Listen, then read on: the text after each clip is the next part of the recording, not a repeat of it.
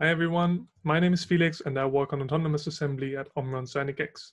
In this talk, I will explain what makes the assembly problem difficult, talk about our team's experience in the challenge, and give some pointers on designing a robot system. Then I'll explain some standard approaches to coding assembly processes, their ups and their downs, and some notes about implementing them in MOVEit and ROS. The source code we use at the last challenge is released, so if you want an example, please have a look at it down here. Now, the World Robot Assembly Challenge is a robot competition hosted by the Japanese government. Teams let the robot system assemble the motor drive unit on the right with the parts in the tray in here. There are also some surprise configurations that you need to respond to. And what makes this so difficult is that, for one, the task is very long, and there are many complex manipulations involved. The three videos at the bottom show a human demonstration, and that should make clear how difficult the problem is you see that there's very small parts, deformable parts, tight tolerances. Even small mistakes can make the robot lock up. Now, traditionally, the industry would solve this by making special jigs for all of the parts. So their position is known precisely and all of the steps can be taught by hand. But that is so expensive and it also doesn't get us into the future, or at least not the kind of future I think that we all want for robots. To give you an idea of the cost of this, the cost of just these jigs in robot motion, this integration can be up to 70% of the whole cost of the robot system. And that adds up for maintenance. So to reduce this cost, we have this competition in which we have to deal with a less structured environment with much more uncertainty, like the tray with the parts that can roll around. Next, I'll explain how we approach this. In principle, we believe that this can be solved with a two-arm robot. In 2018, we had three arms because one of the grippers had a custom prototype on it, and we needed two grippers to hold stuff. And in 2019, we had two small robot arms, but the workspace was too small and was all too crowded. And this year, we're going for the two robot arms on the left with the open workspace arrangement that you see there. The competition didn't happen yet, so we can't give everything away, but this much is fine. We're not scared. Still have some aces up our sleeves. On the next slide, there's a lot of stuff, but that's mostly for reference. The main takeaway here is that we're connecting a lot of things together, which is why ROS helps us a lot, and that we're using only one PC because it's simpler. There are good reasons why you may need multiple machines, mainly when you need high-speed robot control, for example, or you need to offload perception modules. But if you can avoid that, you'll have a much better time. A comment for everyone who starts making these systems is always have a visualization debug display up and running. It will help you. Trust me. I also won't say much about this slide, except to say that you always have to strike a balance between prototyping speed and clean code. So don't feel bad about cutting corners and fixing things later sometimes. And if you can, use Docker to maintain a common environment in your team for development. It saves a lot of time, big recommendation. Our 2018 repository also has some example scripts for that. And talking about the team, I do want to give those a shout out especially the students who are graduating before the competition, they won't get to have the full experience, which is very sad. So how do people normally program these assembly and manipulation tasks? My impression is that there's a sliding scale of complexity, but for industry and application, there are a few main approaches that you can group together. The first is the most classic teaching and playback sort of approach, either by a teach pendant or by manual coding.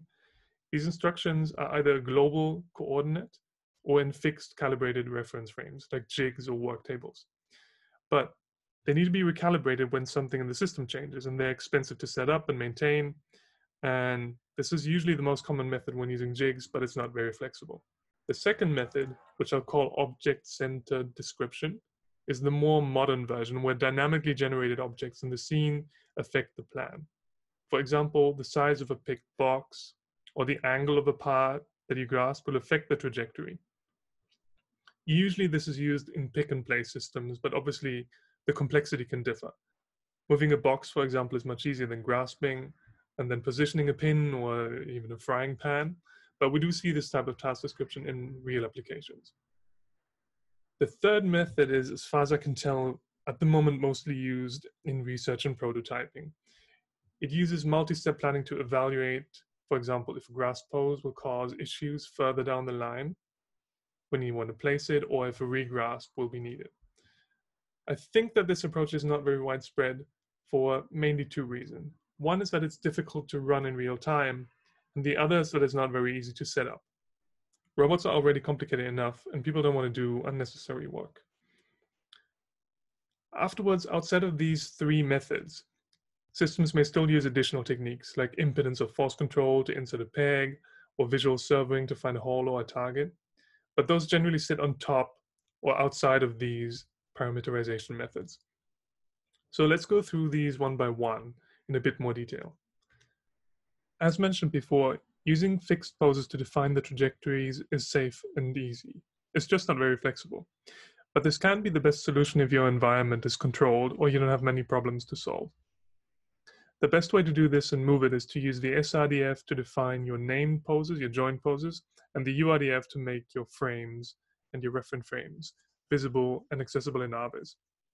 Definitely do that instead of hiding the joint angles somewhere in your script as an array. It's bad.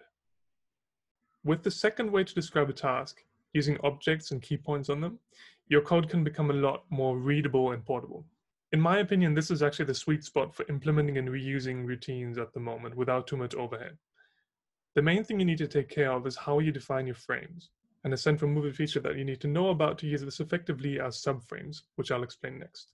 Subframes are points of interest on an object. For example, the tip of a screwdriver or the head of a screw. On MoveIt Master and Noetic, or if you compile from source on Melodic, Collision objects have subframes that allow you to write real nice and intuitive code like move screwdriver tip above screw head. And that will work with collision objects. The main recommendation I have for you when you use this is to set a convention for your frames. So you don't have to think while writing code. For example, pointing the x-axis into holes and the x-axis away from tips of objects that need to go into holes. If you do that, then you don't have to rotate in your head all the time, and that's quite nice.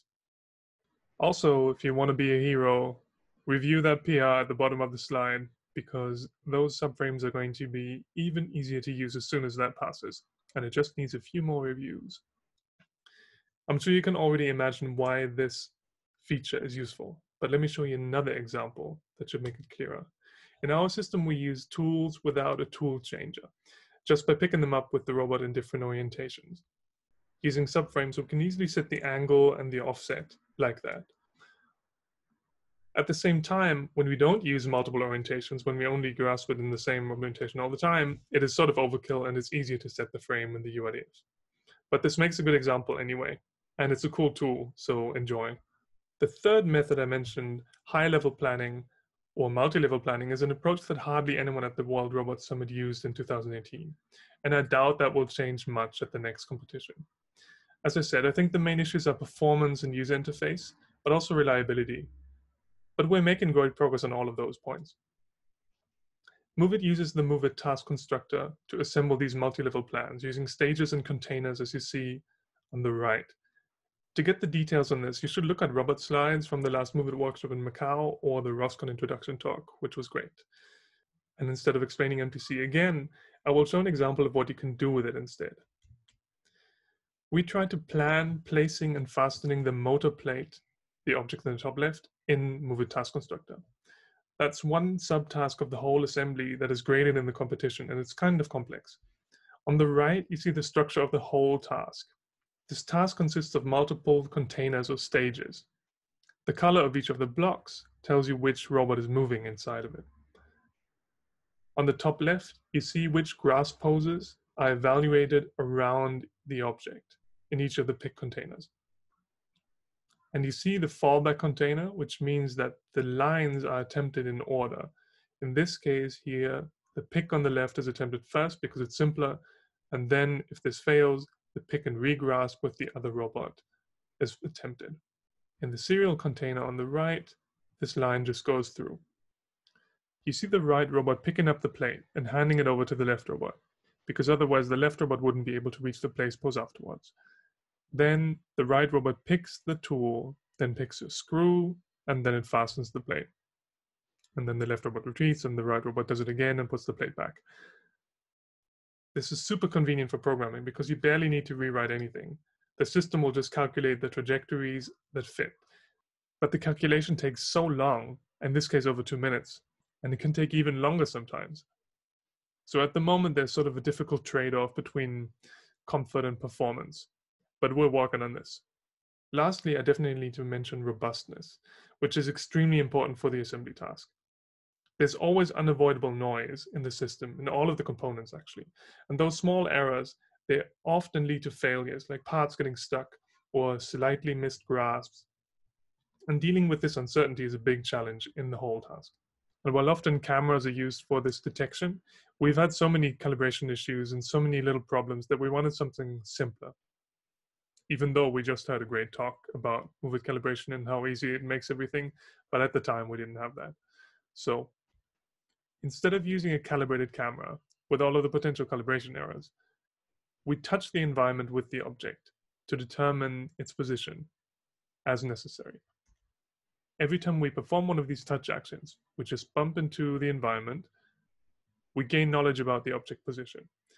In our paper, we show that this method can determine the pose to sub-millimeter precision, and it works in ROS, as described on this slide.